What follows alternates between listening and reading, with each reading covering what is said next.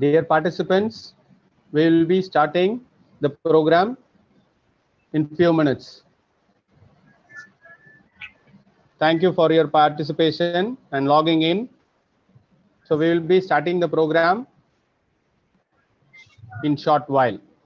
Thank you all.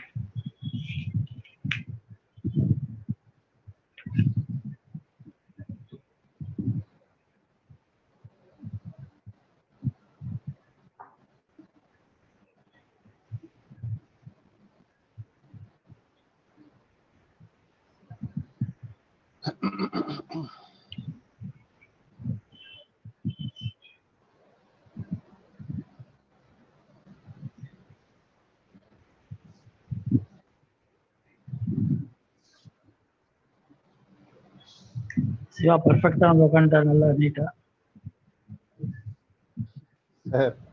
ம். ஹெட்ஃபோன்லாம் சும்மா போட்டு இந்த இளையராஜா ரெக்கார்டிங் மாதிரி இருக்கு. சார் எல்லாரும் இருக்காங்க சார். ஏன் சார் ஓட்டுறீங்க? அப்படிலாம் இல்லைங்க. உண்மையா சொன்னா என்ன ஓட்டு?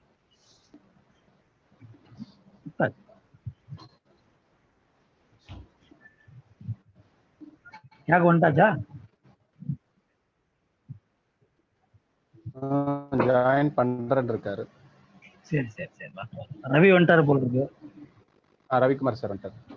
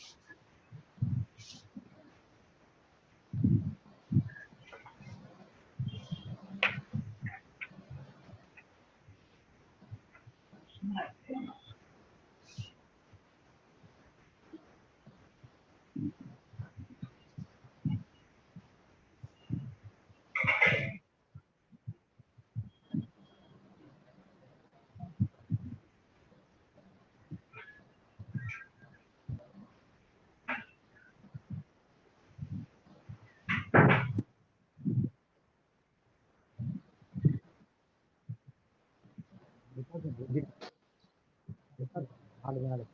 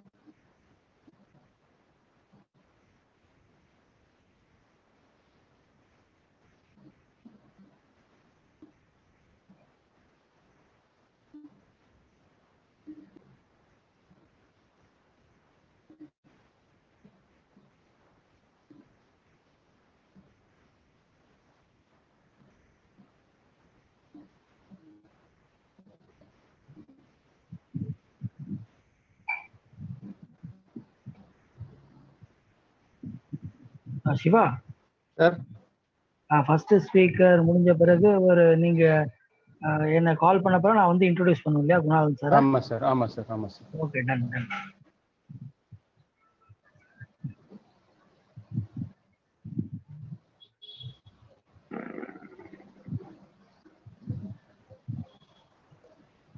நிறைய ப்ரோக்ராம் அட்டன் பண்ணி இன்னைக்கு நம்மளுதேங்கும் போது அது ஒரு இதா இருக்கு. ஏன்னா எல்லாம் நீட்டா வந்துரும். ஒன்றும் பிரச்சனை இல்லை. ஏன்னா எக்ஸ்பீரியன்ஸ் இருக்கு உங்களுக்கு நிறையா. அதுவும் நம்ம அந்த ரோட்டரி இது வந்து உண்மையில நல்ல எக்ஸ்பீரியன்ஸ் ரிஹர்சல் பார்த்ததெல்லாம்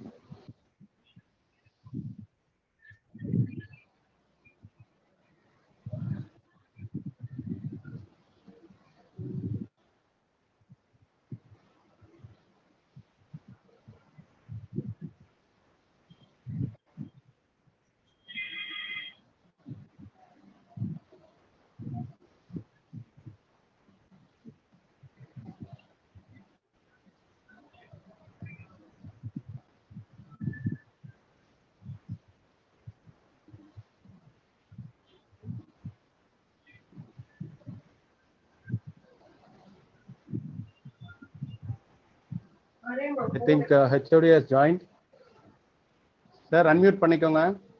Sir unmute yourself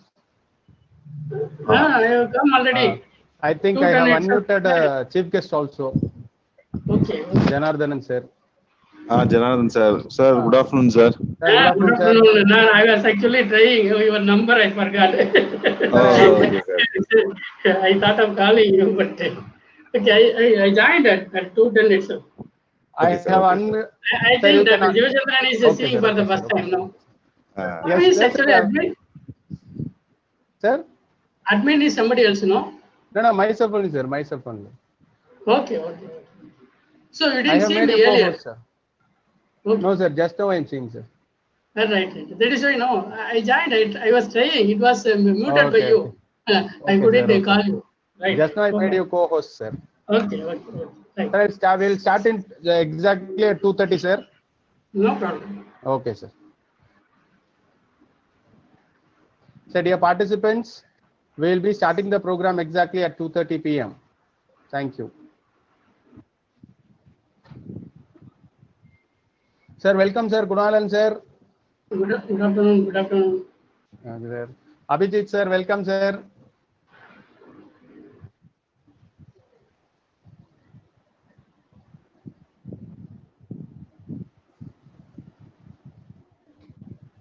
Good afternoon, ma'am.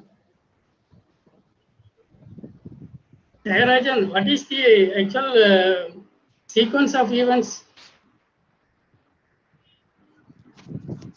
சொல்லுங்க sir What is the se- sequence of events என்ன எப்படி இப்ப? இப்போ ஃபர்ஸ்ட் ஃபர்ஸ்ட் இனாகரேஷன் முடிச்சிடுறோம் சார் முடிச்சிட்டு அவர் டாக்டர் அபிஜித் அவரோட டாக்கு இல்ல இனாகரேஷன்ல வந்து நீங்க எப்படி சீக்வன்ஸ்னு கேக்குறேன் இனாகிரேஷனுக்கு ஒரு சீக்வன்ஸ் வச்சுக்கீங்களா அது ஏதாவது இருக்கா? இல்ல ஸ்ட்ரைட் அவே நான் இனாகிரேட் பண்ணுவேன் அங்க இது welcome address welcome address welcome address okay okay invocation welcome address invocation welcome address inaugurate address okay fine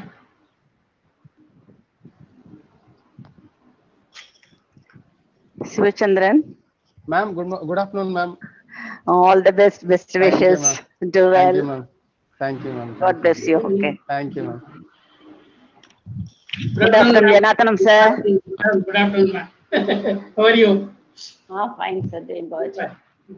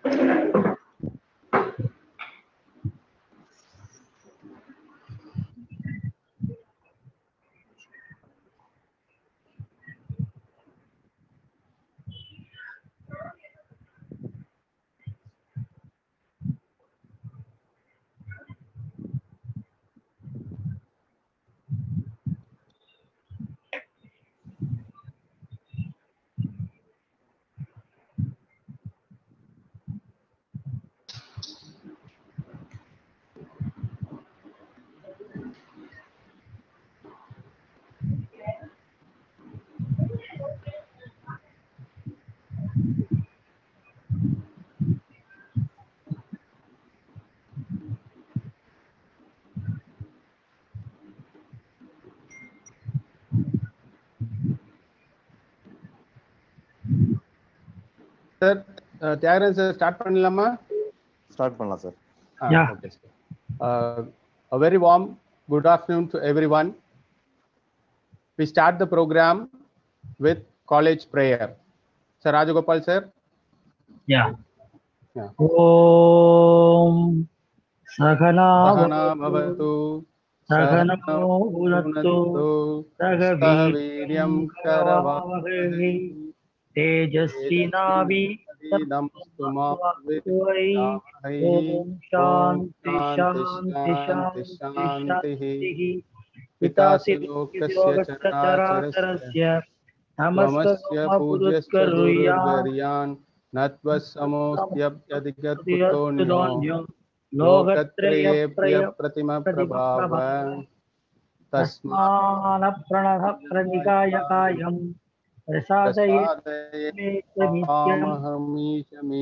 पितेव पुत्रस्य सख्यसख्युः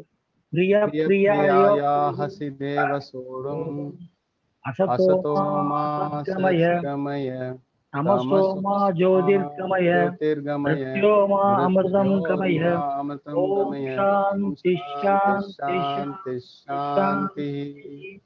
साभगाय च धर्मस्य सर्वधर्मस्वरूपिणे अवतारवरिष्ठाय रामकृष्णाय ते नमः।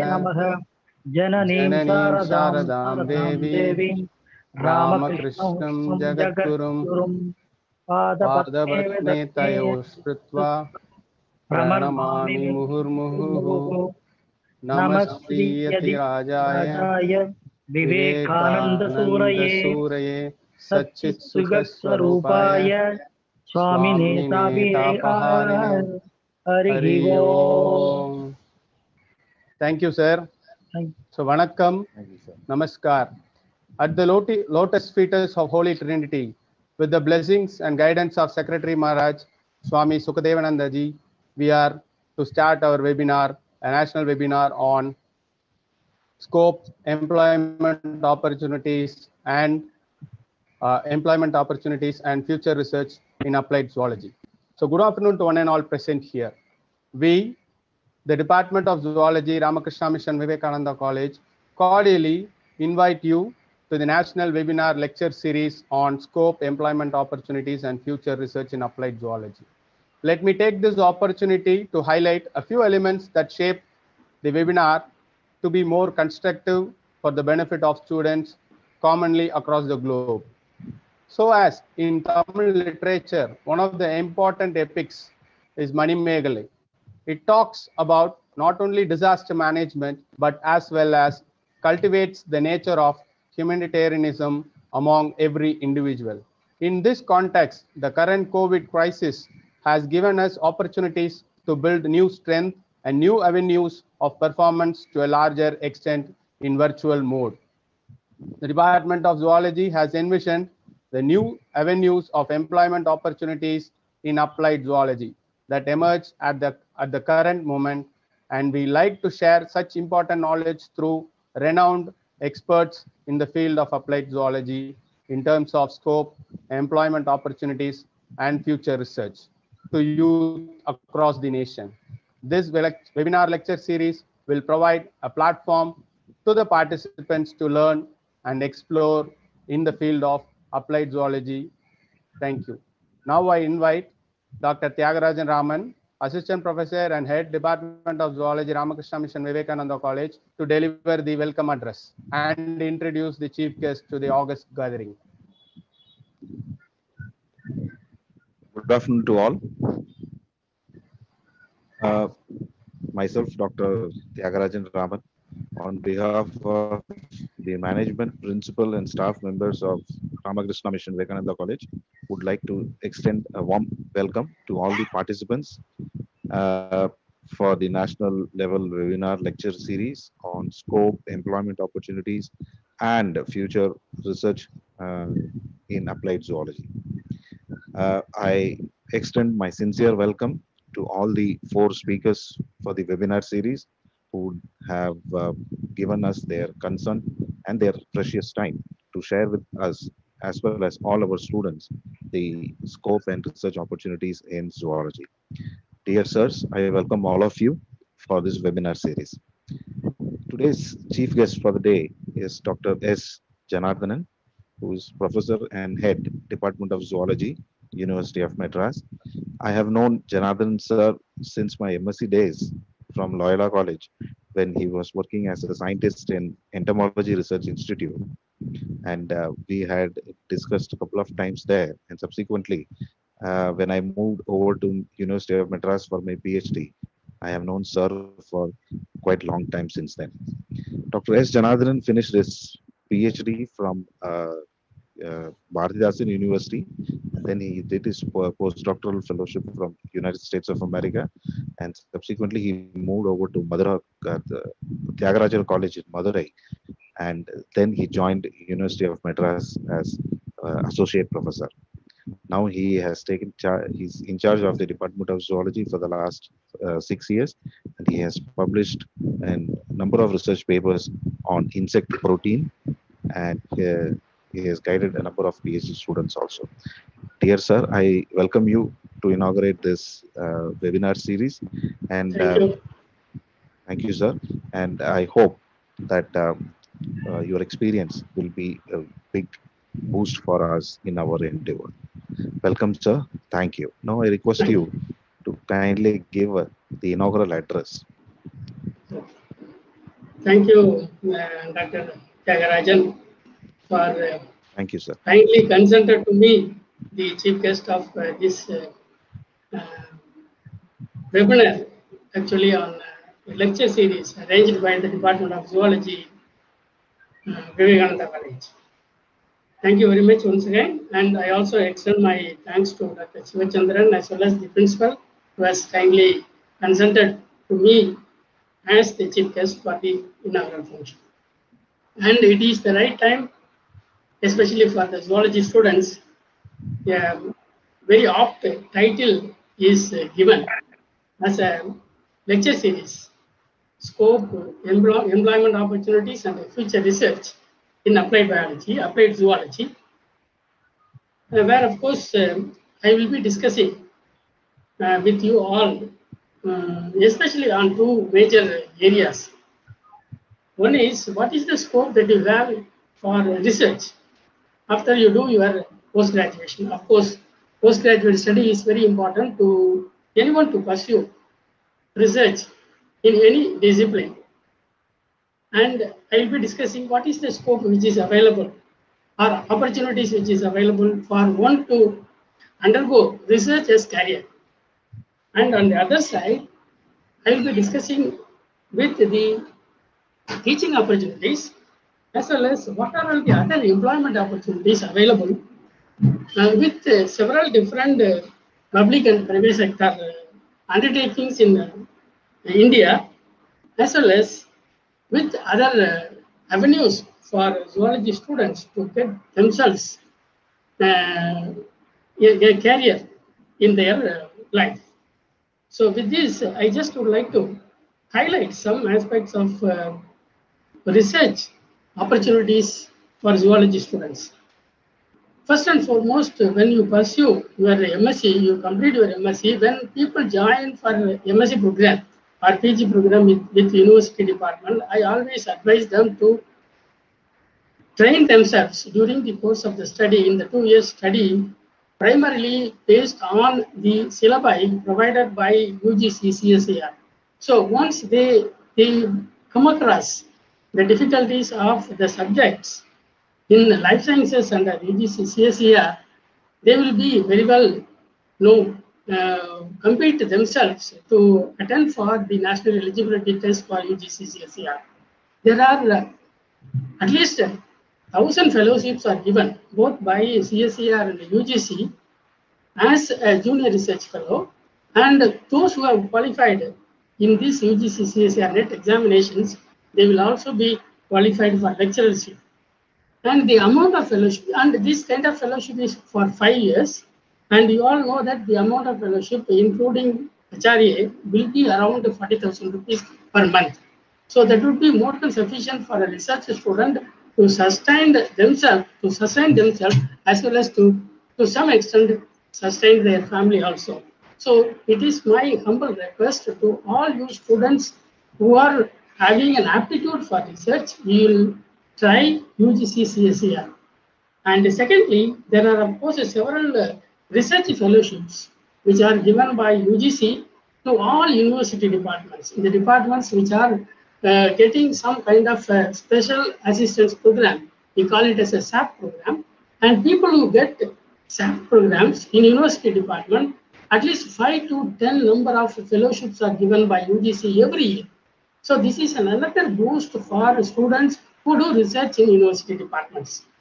And of course, you have a lot of uh, sponsored research projects in which you can also get yourself uh, appointed as a project fellow or junior research fellowship or sometimes a senior research fellowship. That will definitely help you also to earn some money as well as do your research other than the area in which you sometimes work in the project or with the consent of the principal investigator, you can also do the same project for your PhD program. So that again varies. So there are a lot of sponsored research projects.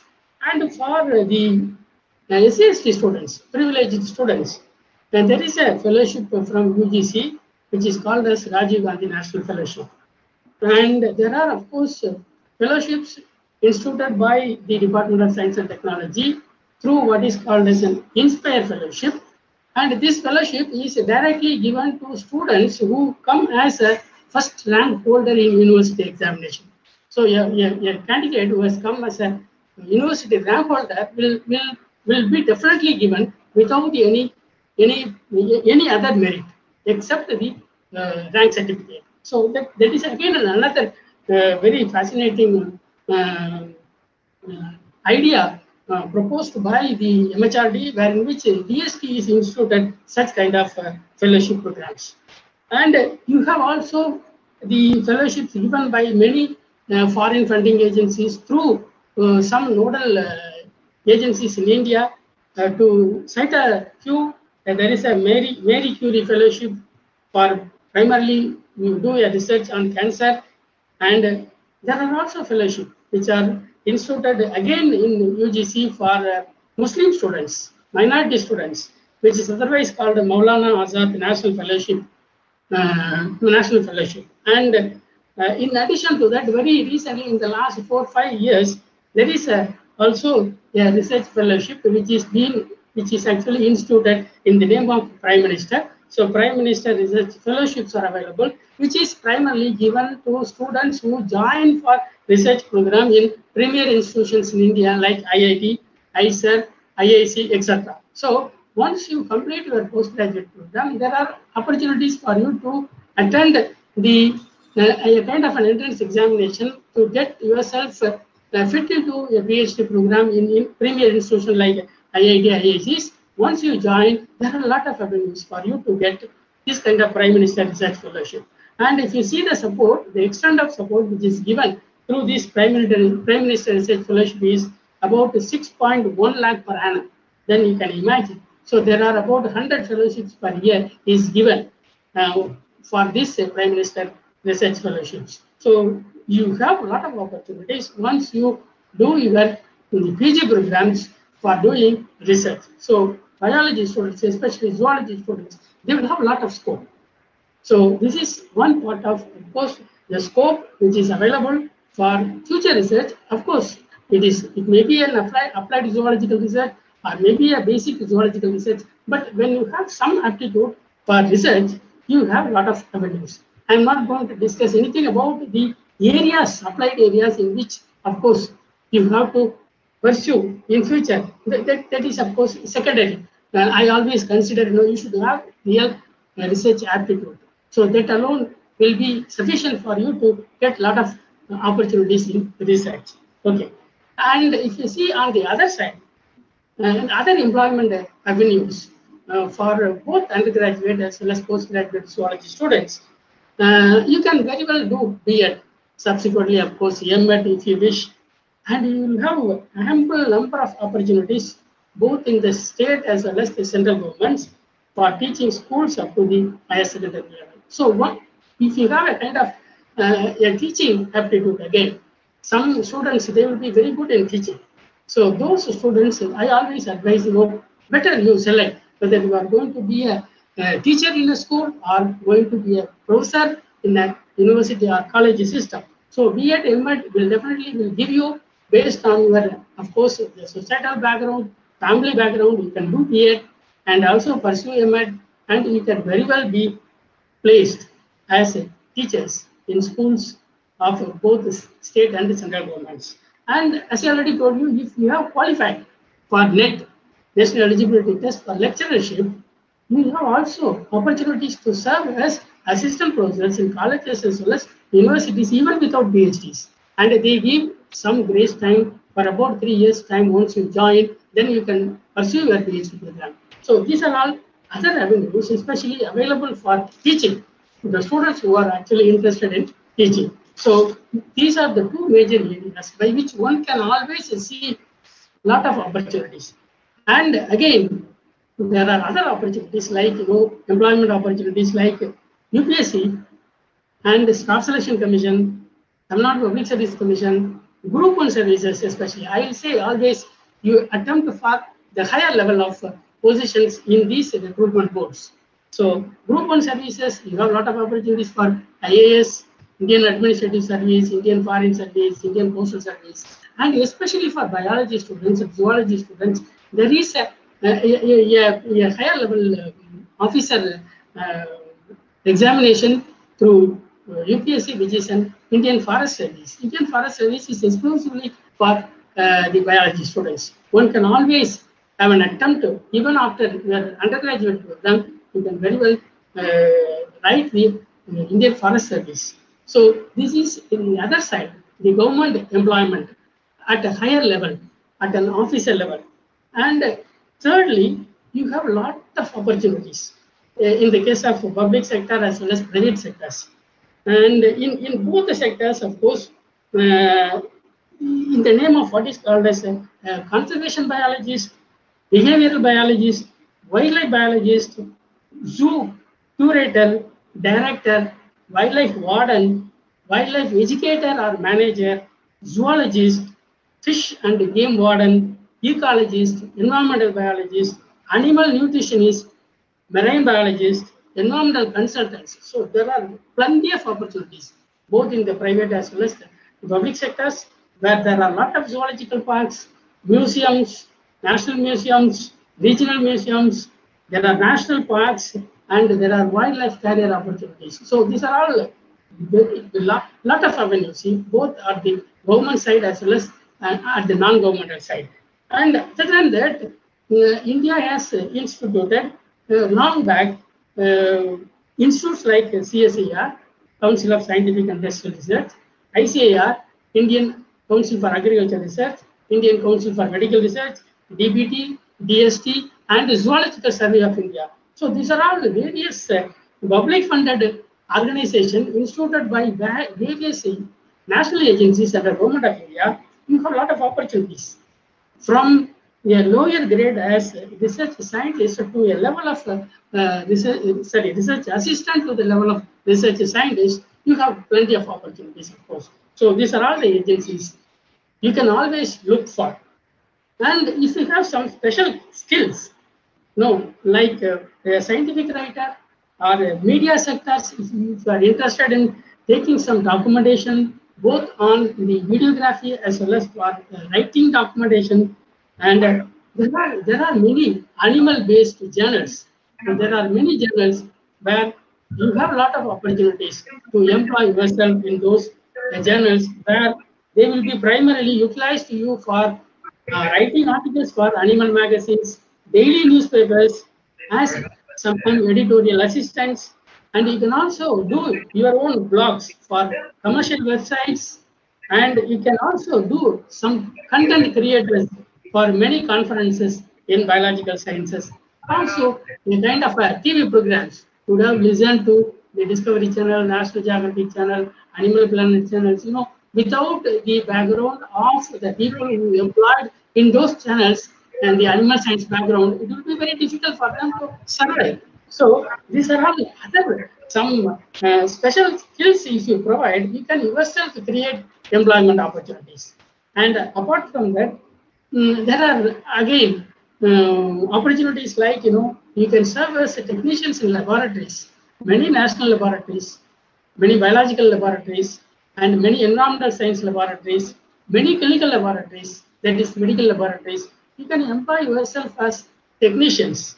And there are forensic science and toxicology departments, which primarily uh, look for some special people to do a kind of research as well as for doing some uh, kind of um, other uh, related areas work. So you'll have a lot of chance. And there are uh, some industries like uh, food science and nutrition industries, and uh, you have pharmaceutical industries. So these are all the areas one can always look for. And this is about uh, the various avenues I told you on both the private as well as the public sector undertakings in, in India. And, and thirdly, what I say is uh, for zoology students, uh, they, have, they have a better opportunity than what I feel is than the physical sciences and chemical sciences, and they have several self-employment opportunities, especially in sericulture, areas like sericulture, where you have a separate ministry in India.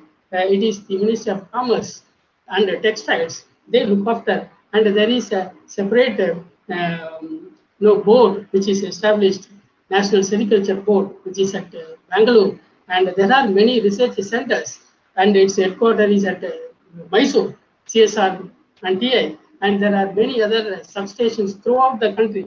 You can get yourself uh, trained in those uh, areas. You, you can also become an entrepreneur. If you have even your 50 cents of an acre, that would be sufficient for you to make yourself self-employed through sericultural activities, where you can always do moriculture as well as silkworm rearing.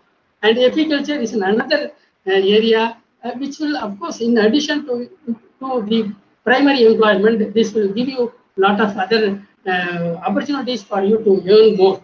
And we are very well known about, uh, we have a very large you know, coastal regions, aquaculture, mariculture are again a lot of avenues. Of course, there are some avenues that are available with reference to lac culture in some of the restricted areas or regions of our country. Vermiculture is a, a- a very emerging area. We now talk about organic farming and all. Vermiculture is definitely going to be an important uh, area in uh, organic farming. And uh, addition to that, poultry farming in which we all you know well versed nowadays. You have fish farming very recently. There are some fishes which are being grown, like you know aquarium fish maintenance. So these are all various other areas by which one can always be self-employed on their own. The zoology students they have a lot of these kind of self-employment opportunities. So this is what I just I would like to uh, with this uh, uh, lecture series. Uh, I would like to highlight these areas, research as well as other uh, avenues are uh, more for zoology students than any other students. And I think the deliberations, what you are going to actually hear today with reference to primarily from uh, Dr. Tyagarajan, I came to know that uh, there are experts which are, who are going to talk more on applied zoology, how we can get you know, mm, self-employed after their undergraduate or postgraduate programs. I think with these highlights or glimpses, what I make on uh, the employment opportunities or the scope for the zoology students, I congratulate the team at Vivekananda College as well as Dr. Tyagarajan for uh, kindly giving me this opportunity to interact with you. And I wish you all the very best. And I am very happy to inaugurate this uh, webinar lecture series. Thank you very much. Thank you. Thank you, sir. Uh, I think uh, a Yes, good yes. start is uh, half done. You have, you have done our job uh, more easy, giving enthralling such and voluminous information on the scope of zoology. I think the, the apt question for uh, to inaugurate this uh, session will be, uh, we, we, are, we are very happy to be, uh, we are happy to have you in our inauguration, sir. Thank you so much, sir. Thank you. Thank you. Thank you. Thank Can you. I can I can I leave now or Yes, sir. sir. uh, Yeah. and I, I'll join after some time. Yes, sir. I'll Yes, sir. Thank up. you, sir. I, I- Thank you, sir. a work. Welcome. Thank you, Thank sir. you, Dharanja. Thank Thank you. you, sir. Thank you. sir. So now uh, we are moving on to the uh, invited speaker session. We have the first session by Abhijit Mitra.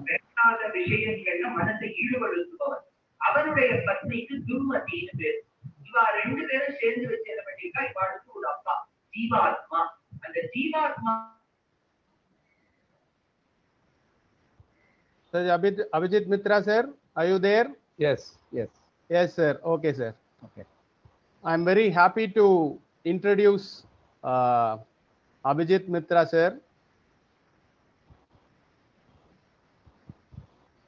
Dr. Abhijit Mitra, Associate Professor and former Head Department of Marine Science, University of Calcutta, India, has been an has been active in the sphere of oceanography since 1985.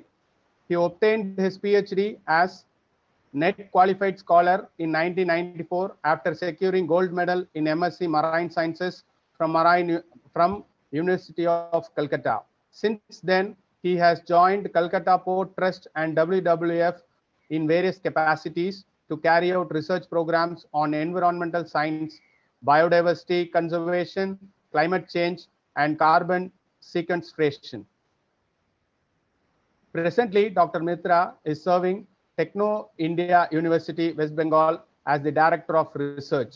He has, to his credit, about 553 public scientific publications in various national and international journals and 42 books of postgraduate standards. Dr. Mitra is presently the member of several committees like PACON, International, IUCN, SIOS, etc., and has successfully completed about 19 projects on biodiversity loss in fishery sector, coastal pollution, alternative livelihood, climate change, and carbon sequestration. Dr. Mitra also visited as faculty member and invited speakers in several foreign university of Singapore, uh, foreign universities of Singapore, Kenya, Oman, and USA. In 2008, Dr. Mitra was invited as a visiting fellow at University of Massachusetts at Dartmouth, USA to deliver a lecture series of lectures on climate change. Dr. Mitra also successfully guided 38 PhD students. Presently, his domain of expertise includes environmental science, mangrove ecology, sustainable aquaculture, alternative livelihood, climate change, and carbon sequestration. Thank you for the wonderful, uh, uh, thank you, sir.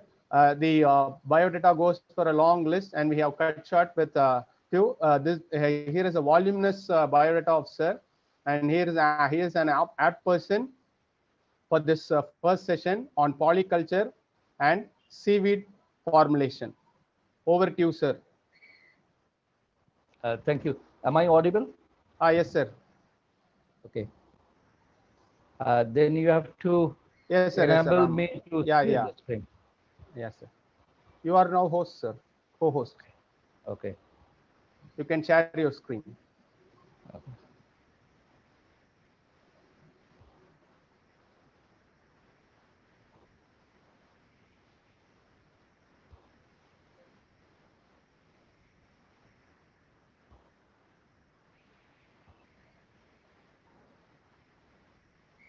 Uh, is it visible?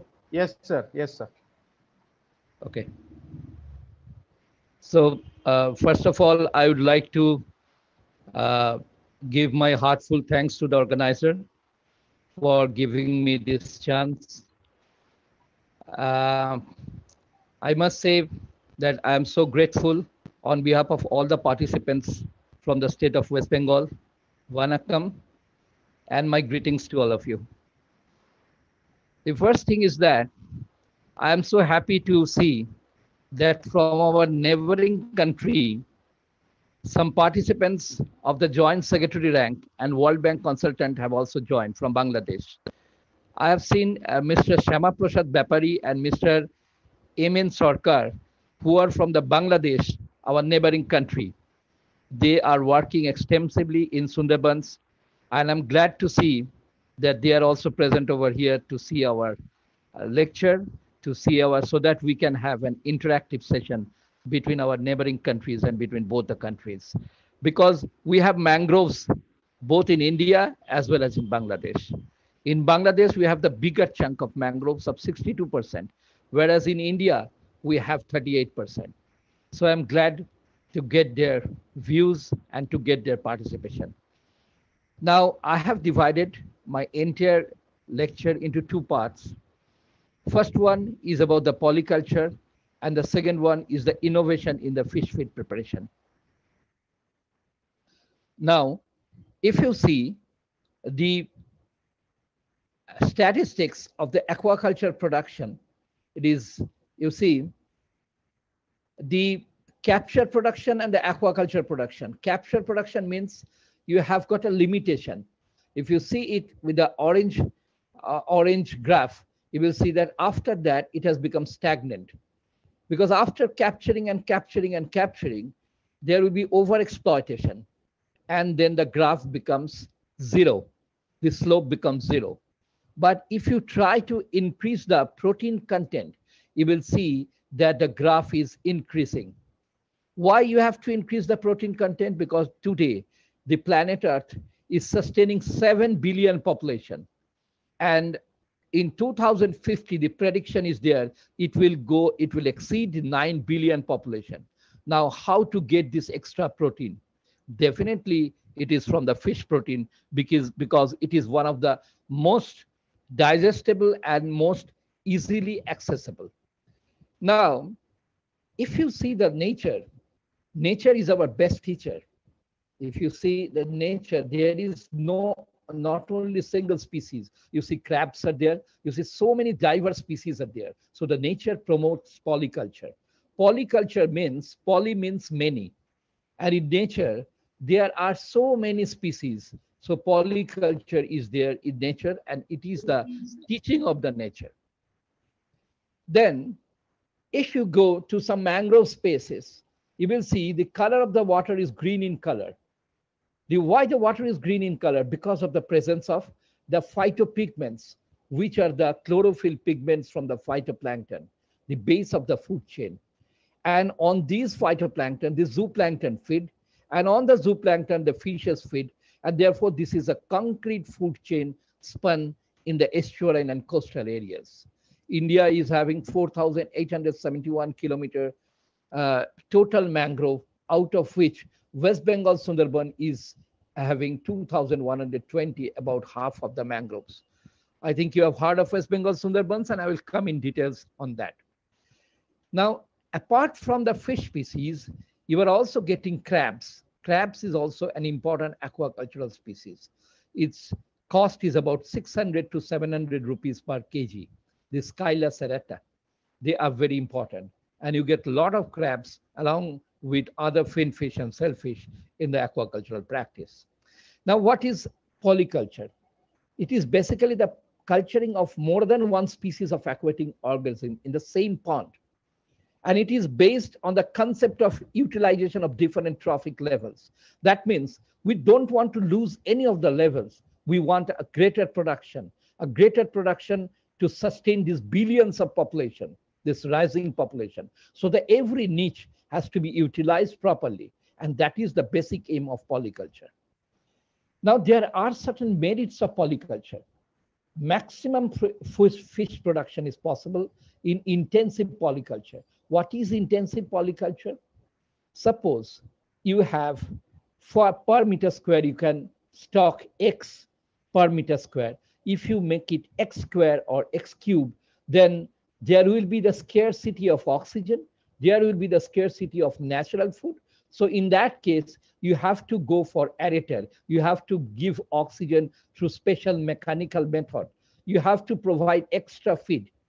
And that is polyculture to get the maximum production. That is intensive method.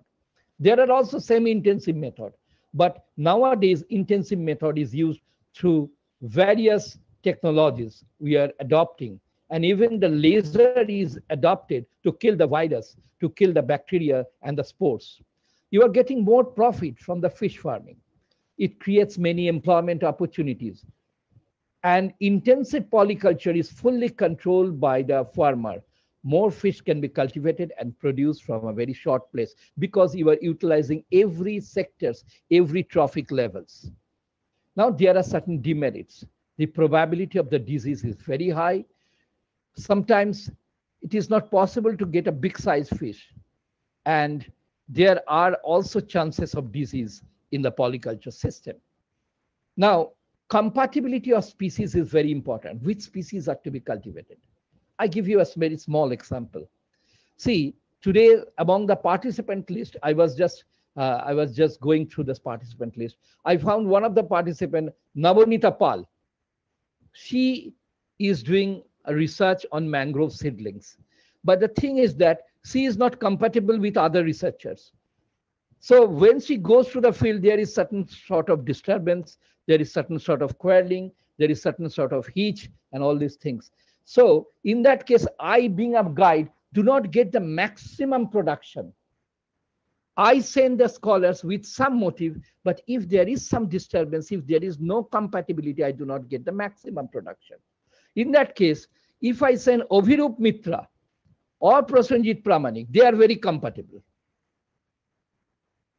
They don't, they may not, Avirup may not be a PhD scholar he is a, his background is basically commerce and chartered accountancy but with his passion when he goes to the field when he drives into the subject when it goes into the aquarium uh, uh manufacturing and other aquarium culture method prasenjit pramanik they are compatible so compatibility and synchronization is the basic backbone of any production of any business that is very important I'm just joking. I'm not telling that Navanita Pal is not always compatible. Sometimes she's also compatible.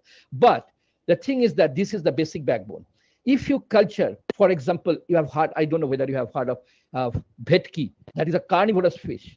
If you culture vetki with prawn, what happens? The vetki is being a carnivorous will attack all the prawns. And you know, in prawns, what happens after a certain period of time, they go for the molting molting is just like the changing of the dress. When you become fat, you have to take a new shirt. You cannot use the old shirt every time. You have to use a new trouser.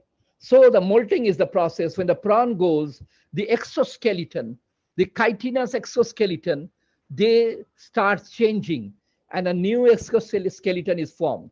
But during this phase, the, uh, the muscles of the prawn are very delicate and they are very, very lucrative item for this vetki and other fishes.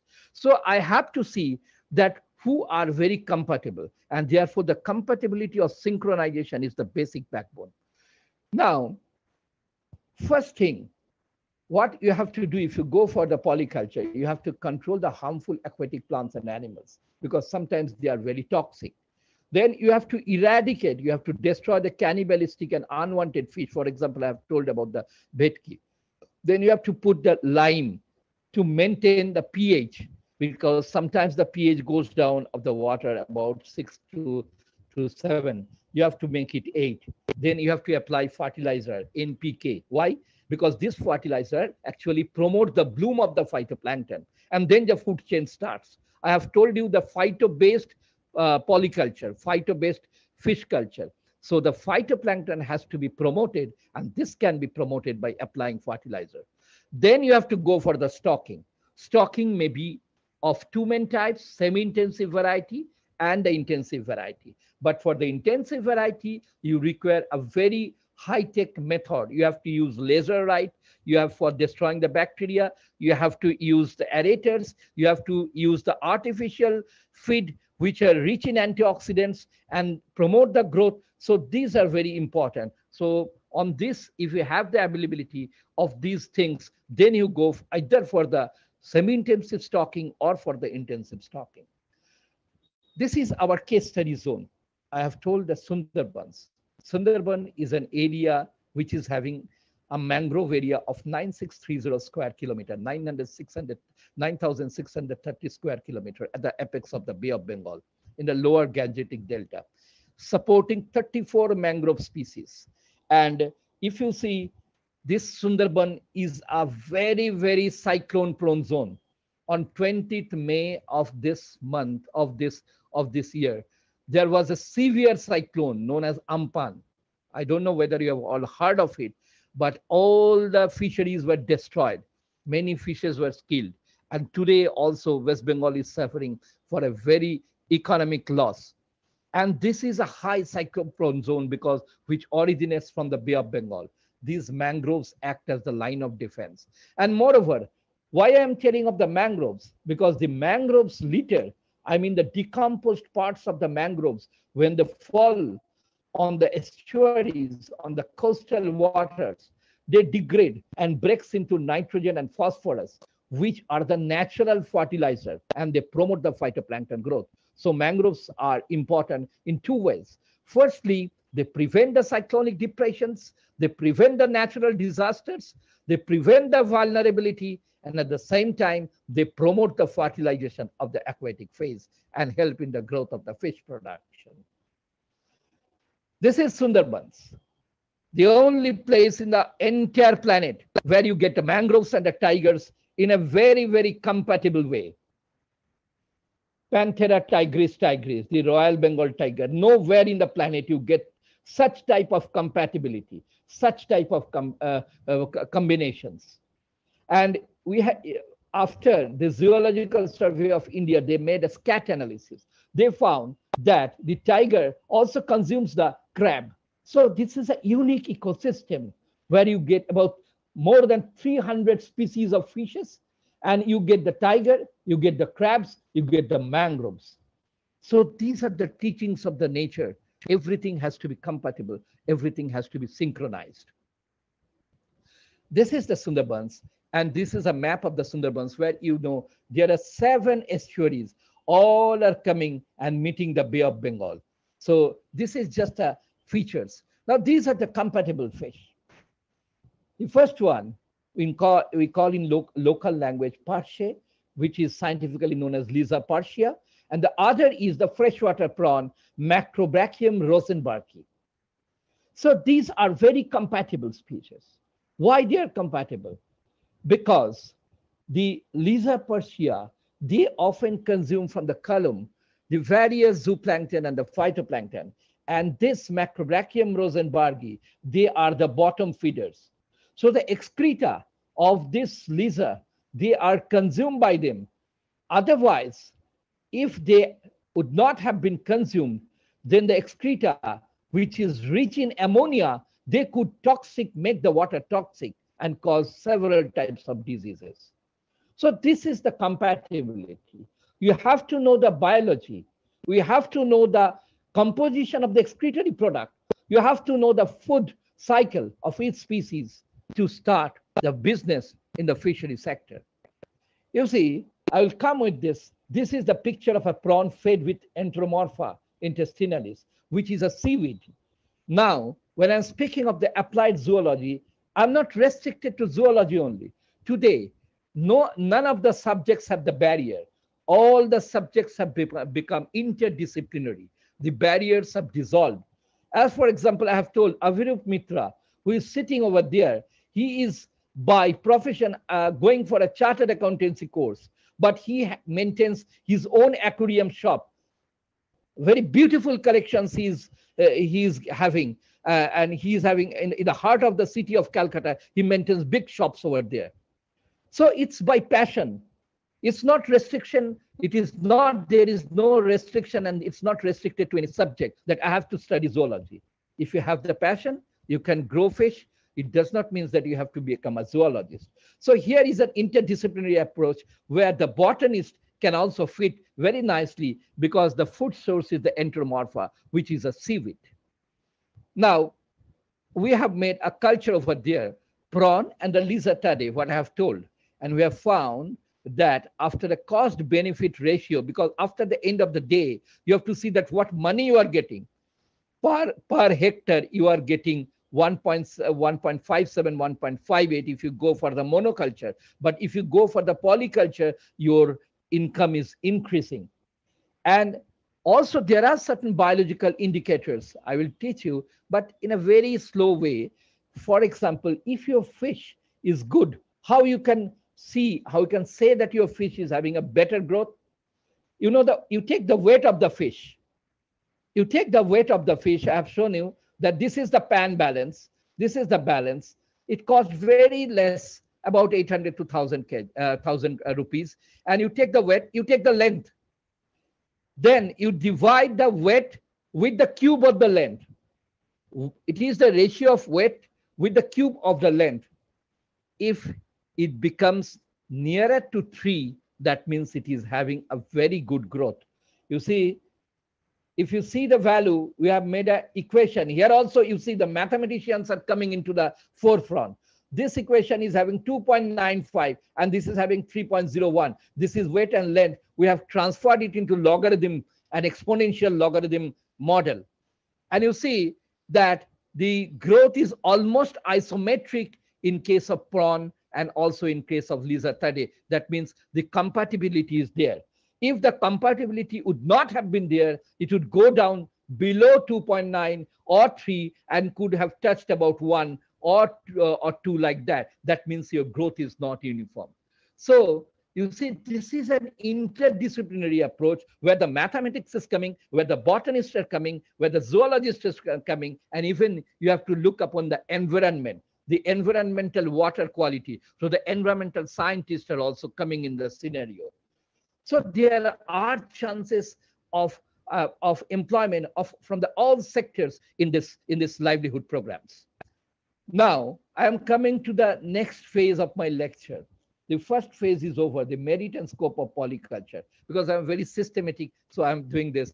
Innovation in fish feed preparation. What are the innovation? How you are going to make the fish feed? If you want to make the fish feed, what you want, uh, if you want to make the fish feed, then you want, you know, a rice bran, then the dried fish, then the wheat bran, then something chelating agent, all these you mix up and put it in the pelletizer. It comes in the form of a pellet with a protein of 25 to 26% for the floating fish and something more for the sinking uh, types of feed. So this is the fish feed preparation method.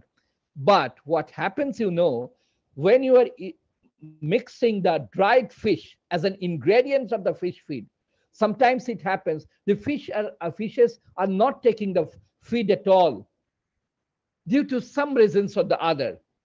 They are not getting that appetite. So the fishes feed remains in the aquarium base or at the pond bottom. And what happens in that case the ammonia generates the water becomes toxic. We say that diseases are happening but the diseases are happening because of the poor quality of the water. In that case if you replace the dried fish uh, ingredients with the enteromorpha with the plant-based protein it is better. For example soybean. It is having high protein. If you put the soybean much more instead of the dried fish dust then it is good for the environment. You see this is a very old times we have started this type of factory as an entrepreneur. About 20 years back in a place called canning where we started this factory. At that time the instruments were not sophisticated like this. And this is the enteromorpha intestinalis. Plenty of enteromorpha intestinalis are available. Even in the aquaculture farm they are as at the waste products. They have got no value. The farmers do not know the idea that what huge amount of protein this seaweed is having. This seaweed is having about 13 to 17 percent protein. And therefore we made a plan to dry this seaweed firstly we sterilized it dried it and then we put it as a feed ingredients in the fish feed and we then tried. You see this this is the seaweed reservoir in the west bengal.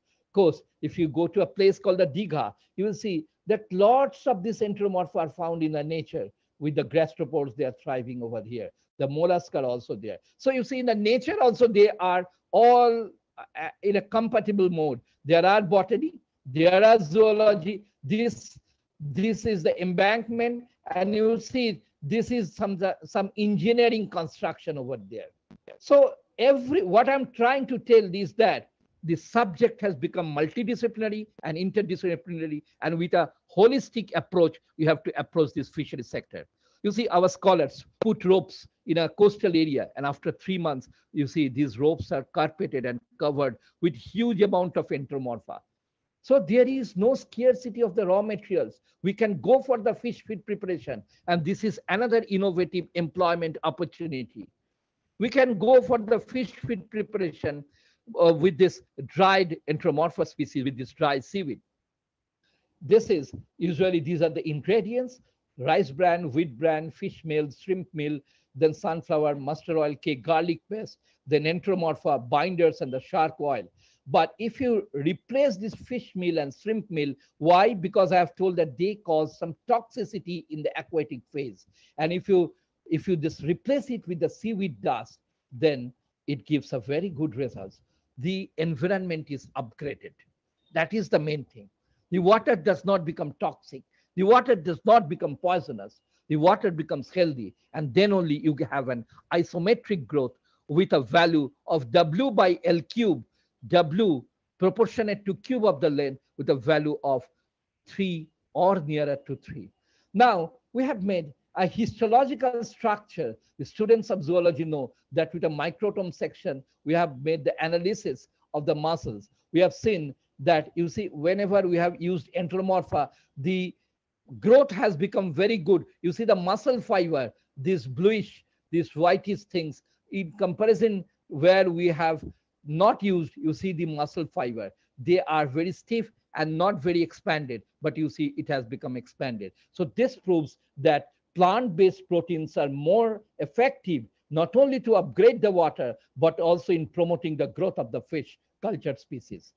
So we have made also, but if you start taking the enteromorpha from the nature, it will not be a sustainable thing. It will, there will be an over exploitation. So we have made some enteromorpha culture in some places in Sundarbans where you have stocked the brackish water and put the thallus and then they started growing luxuriantly. Now, there is another important thing. Today, a very important issue is the global warming. You know, in the globe, uh, previously there was a time when the atmospheric carbon dioxide was about 300 ppm, but now it has exceeded 410 ppm. If you see the internet now in the Google itself, you will see today it has crossed 415 ppm, 415 ppm. The permissible level is 350 ppm, 350. So this is global warming, which is causing all the imbalances on the planet Earth. The sea level is rising, the acidification is occurring, there is weather disruptions. Suddenly the rain is coming, suddenly the rain is going. There is flood in Mumbai, there is flood in Assam. You see, there is huge uh, uh, high temperature where, which is not expected. So these are the weather abnormalities. All these are because of the climate change. And the culprit are the greenhouse gases, the excess carbon dioxide in the atmosphere. Uh, now, why I am telling all these things? Because if you culture seaweed, this is a figure that how the carbon dioxide have increased over a period of time from 1984 to 2016. You see, it has exceeded 400 ppm in Sundarbans only. In all the seasons, whether it is pre-monsoon, monsoon, or post-monsoon. So this carbon dioxide is absorbed if you culture the seaweed because seaweed can absorb the carbon dioxide because you know these seaweeds they photosynthesize and for photosynthesis you know the basic raw materials are the carbon dioxide sunlight and water and this carbon dioxide is fixed in the seaweed with the help of an enzyme known as rubisco so the culture of the seaweed is not only helping to upgrade the aquatic phase it is also promoting the growth of the cultured fishes. At the same time, it is also upgrading the environment and reducing the greenhouse gases. With these few words, I am thanking to all of you. I am thanking to Ramakrishna Vivekananda College of Mylapore, Chennai for giving me this opportunity. Thank you, all of you. Thank you.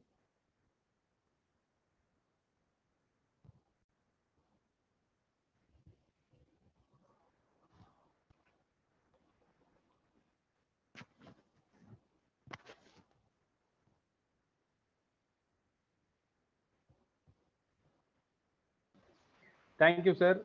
Thank you so much. Abhijit sir, shall we take some questions? Yes, definitely. Definitely. So participants who are wishing to have a question can raise their hand. Any questions, clarifications?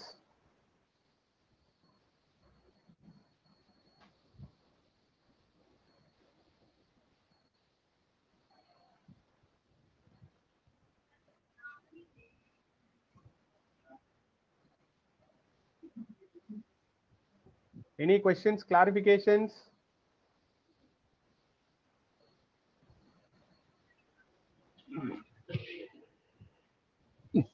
Mm-hmm.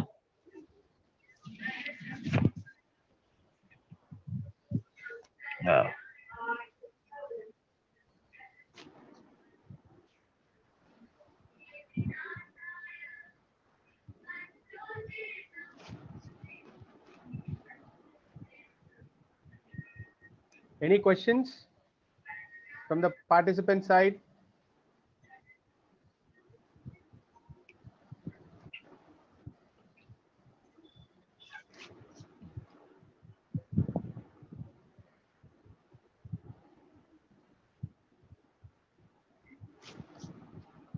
So I, I think there's no question.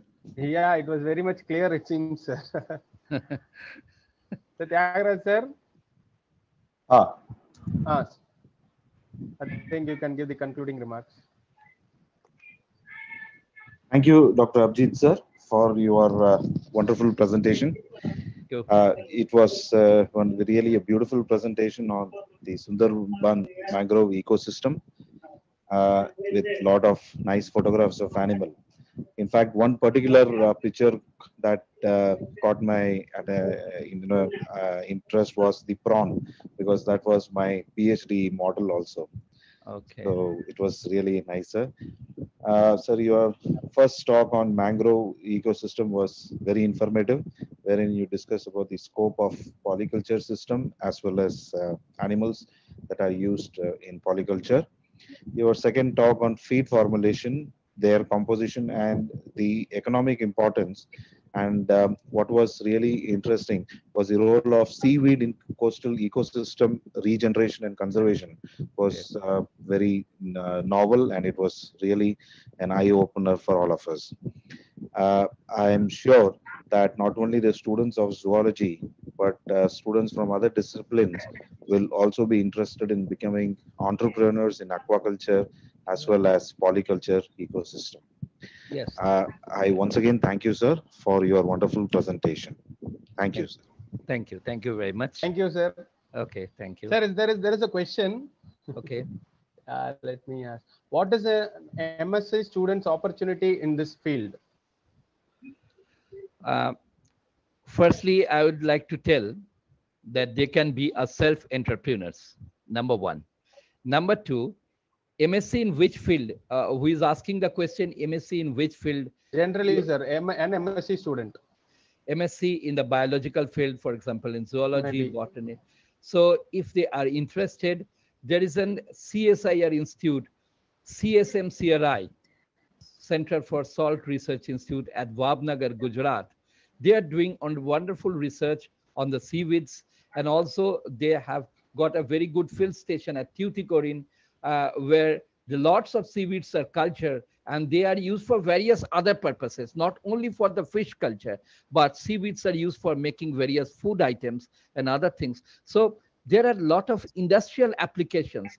Even I, I don't have the presentations today. Even seaweeds are now used for making shampoo, shaving cream. So there are also opportunities to being absorbed in the pharmaceutical industries also, because many pharmaceutical companies are using seaweeds uh, for making the shaving cream, for making soap, for making shampoo, because they are having iodine and good antioxidants. So there are a lot of scopes in various things, and also in the pollution control board, because seaweeds and other biological entities serves as the indicated species. They can indicate the health of the environment. Particularly uh, when we are consuming the fish, it should be monitored and checked that how much better and good for the health. What is the level of accumulation? What are the organs, the gills, the muscles, the the the bones inside, which are more accumulating more in comparison to other. So we must discard that. And all these are taken care by the pollution control boards. So they have set the permissible level, and therefore there is chance to get involved not only in the research but also in government sectors like pollution control board state and central pollution control board and also in various other agencies like fisheries forest department etc thank you very much. Sir, any other examples of polyculture? uh, yes. Uh, if if you put carp means rohu katla and also the prawns it's a very good example because rohu katla one is the surface feeder other is the column feeder another is the prawn is the bottom feeder. So it's a very good example where all the trophic levels are used. Uh, uh, here uh, here is one participant dr pritam mukherjee and dr prasenjit pramanik they made an excellent study in west bengal and they have created a model of this of, of combating of combating of a nice compatibility of these three species rohu labeo rohita carp catla catla and Macrobrachium rosenbergii. This is a very good example of polyculture in the freshwater system. Thank you. So what is the overall cost of setup? Uh, Uh, the overall cost of setup depends on the dimension, uh, but per hectare, the overall cost varies from 35,000 uh, per hectare to about 1 lakhs, depending on the semi-intensive and intensive variety. And you get the return within six to eight months, almost double. Sir, what are the possibilities of ornamental fish aquaculture? uh, ornamental fish aquaculture has the possibilities, but now because of the COVID lockdown phase, it has come uh, very uh, down. And uh, Avirup Mitra, what who I'm telling about, he is a specialist in that. He uh, brings ornamental fish from uh, South Asian countries, uh, breed them, and also sell them. So if you just uh, Avirup, if you can unmute, if you can, uh, uh, I will request the organizer to unmute Avirup Mitra so that he can speak few words that what are the possibilities because he is doing an hands-on training on that. Avirup, sir. Avirup Ab- Mitra. Avirup Ah, yeah. Mitra. Ah, yeah. Uh, he can unmute himself, sir. Okay. Avirup, you unmute. So am I Yeah. audible? Yeah, yeah, yeah. Yeah. So basically what I do is uh, mainly I deal with exotic fishes, but recently I've started an act for doing with native fishes. So the if we can so the surprising fact is that uh, all over the world there is around 36,000 types of fishes. And the surprising fact which I have found out that corresponding to an exotic fish, we have the same variety in India. Like suppose we have a killifish which is available in the Amazon River in Brazil, the same killifish is available in the Western Ghats, and we call that lampai fish. But these Indian fishes were never brought to the world. But now recently the Indian money, the the demand for that Indian exotic Indian native fishes to be kept in aquarium has gone up by a huge amount. And the main Indian market which uh, runs is with the channa species, which is known as the snakeheads. So in Bengal, we have the Bengal snakehead, which is known as the channa gachua. It's a dwarf snakehead. And recently, another snakehead which was discovered in uh, West Bengal, Jalpaiguri, in the year 2018, is channa brunei, or what we call it as chocolate snakehead. So I have kept a pair in my room. So I have been researching on that. Hopefully, it will breed in another month. So if it's breed, then it will be an achievement for me. And the snakeheads are snakeheads, and we have a lot of barbs in India too. The Western Ghats it's full of fishes. So not only for the eating purpose we can supply fishes, but for ornamental purpose as well as keeping purpose, like a hobby purpose, Indian we can also I mean, be a competition to the world. Oh, thank you, thank you, Thank you. So what you, I'm ta- what I was telling is that so you see his background is chartered accountancy, but you see his passion and he knows a lot of about the other fishes, the scientific names and others. Some things that the, the, the zoologist should be zealous of, of him. So it's it's about the passion, and he is an entrepreneur in West Oh. Bengal. He is the entrepreneur uh, uh, at this age. So uh, this is something wonderful. So there are a lot of uh, opportunities in the ornamental fish sector also. Okay, sir. Okay, Thank you, sir. thank Thank you. you so much. So Thank with this, uh, we have come to the end of this session. And Okay. thank you so much for your wonderful, uh, wonderful presentation and interaction, sir. Thank you so much. Okay, okay, okay. May I now uh, uh, have the uh, opportunity to leave? Will you just Yes, sir. Thank you, sir. Thank you, sir. Thank, Thank you. sir. Thank you. Thank you very much. Thank you. So, dear participants, uh, as I have informed in the Telegram group and the, uh, the WhatsApp group, so now we will have a live quiz now based on the information or the presentation given by Dr. Abhijit Mitra sir. And uh, I'll uh, share my screen with the code for the game. And I request uh, everyone to join in that.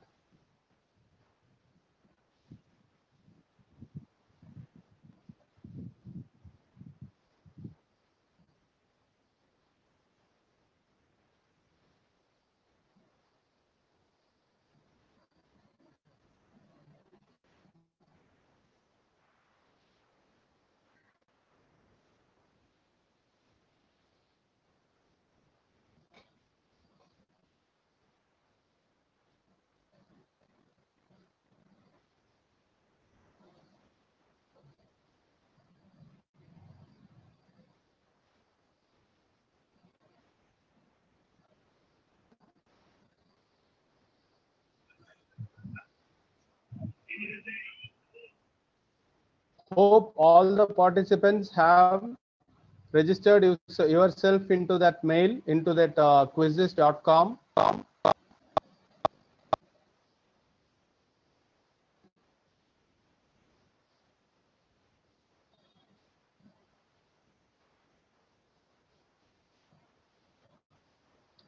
so this is the enter code and the you have to enter this code into your uh, join join game option. So in that you have to enter this code 287606 and I have one participant Avirup Mitra then two three I want everyone to play this game because this will be taken into for your attendance.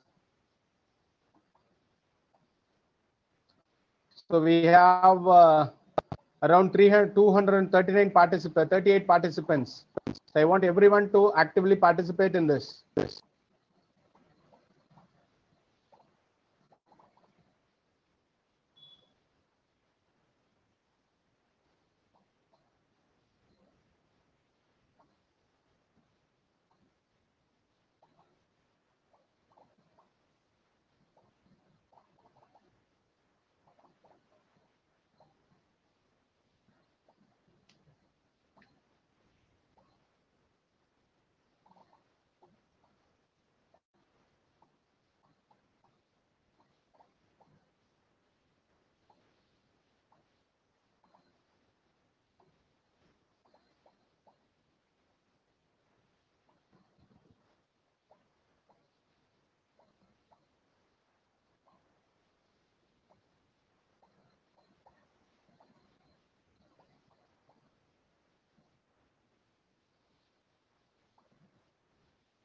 Come on, participants. We have 237 participants and we have only 109 so far.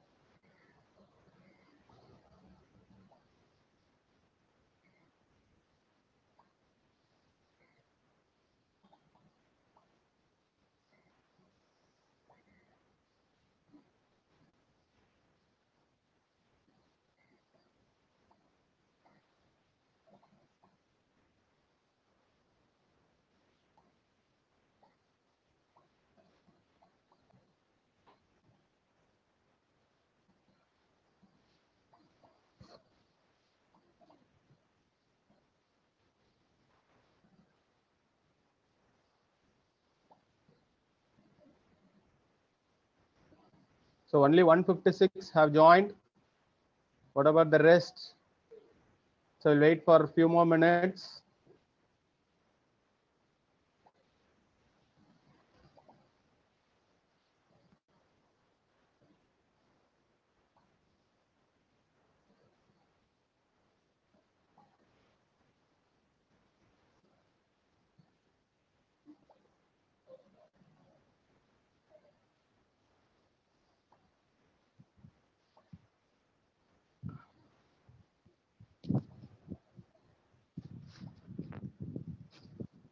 Sivachandran sir sir ah சொல்லுங்க sir அது சில பேர் link கேக்குறாங்க அவங்களுக்கு எந்த link? கிடைக்கல எந்த link sir இந்த குவிஸுக்கு குவிஸுக்கு ஒன்றும் இல்லை sir Joy sir for the participants you Ah. Have to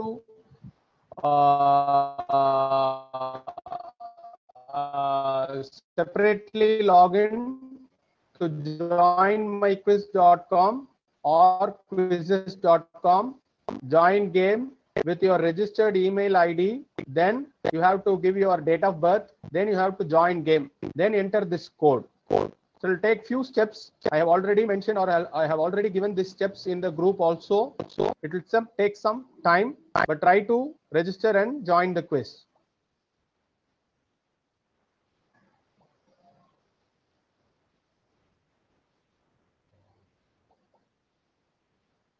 Joinmyquiz.com or quizizz.com either of the uh, uh, websites that is either of the topic you can uh, put in this is what to say in another separate browser. 190 what about the other 40 so once it touches 200 we'll be starting the game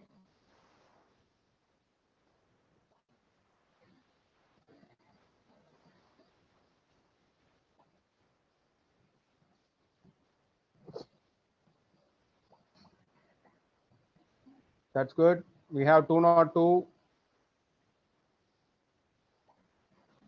So participants, ju- this is just an interaction away that is interacting with the participants. It's a form of quiz. We'll be having few only five questions based on the talk which was given by the invited speaker.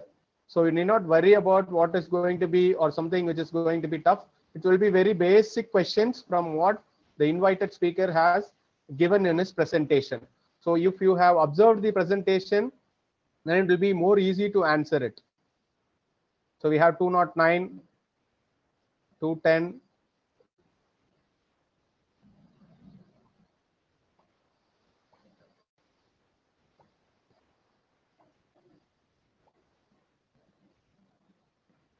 さて、アグランさん。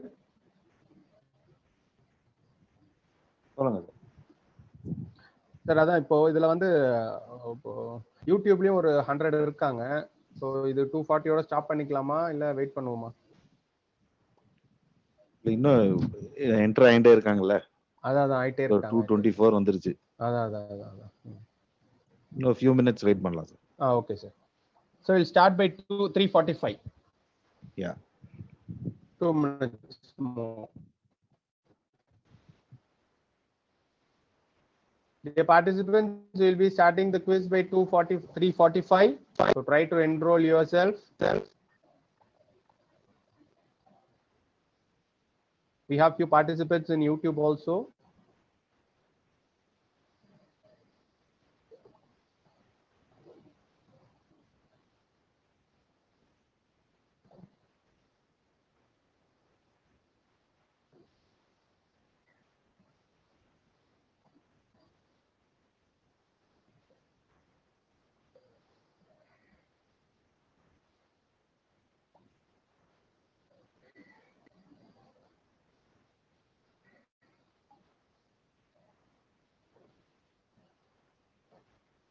I think it's done. So we are starting the game.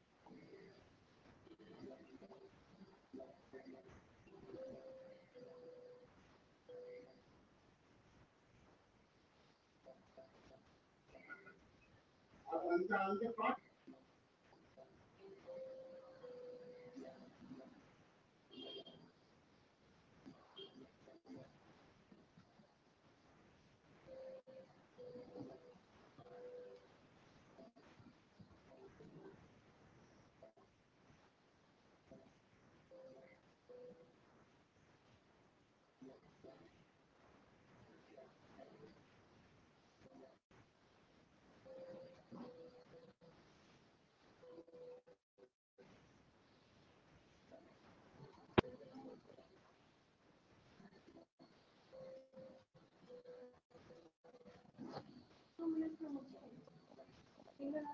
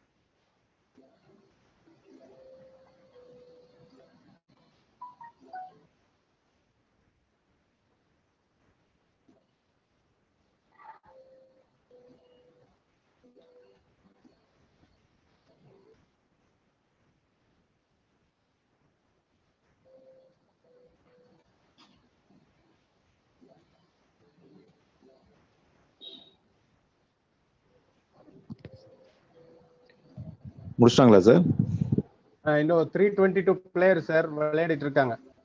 Two sixty over okay remaining ஒரு forty இருக்கு.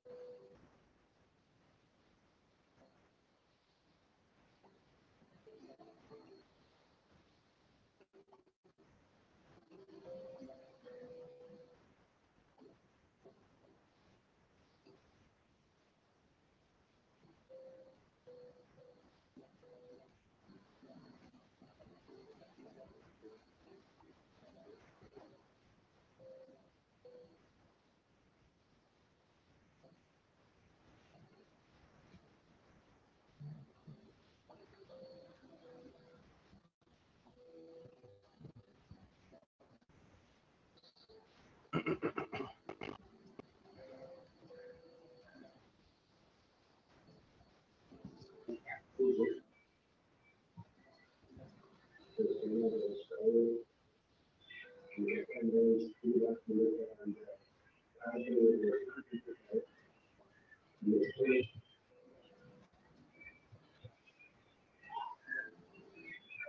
the coach started at, over there, I think they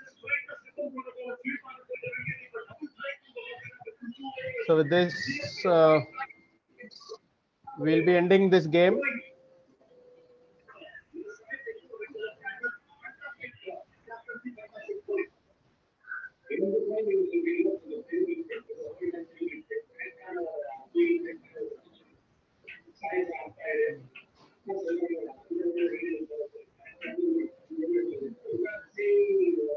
This is going to be the new set. We're going to be having all kinds Thank